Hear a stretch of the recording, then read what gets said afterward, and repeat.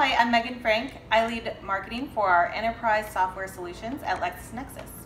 And I'm Maggie Hepburn. I am your learning experience principal for LexisNexis Interaction. We wanted to tell you about a couple great panel sessions that we'll be leading at Accelerate Business Development Summit at the Umstead. The session I'll be leading is called the Modern Marketing Plan, and it's actually a panel of law firm marketing leaders about how they develop their marketing plan the tactics that they choose, how they determine what those tactics will be, and ultimately how they measure success. Our hope is that people will walk away with a couple ideas they can implement at their firms.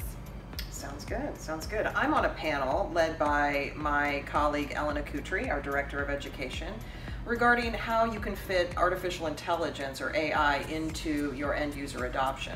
A lot of firms struggle with end user adoption, but if you can get your information from say raw data to knowledge and then over to insight, that's where you're really going to have an effect. I'm also really excited because two other folks on our panel represent large law firms as well as mid law firms who have had some success in this. So I'm anxious to hear what they have to say, as well as show you guys some evidence-based examples of what they're doing to increase end user adoption.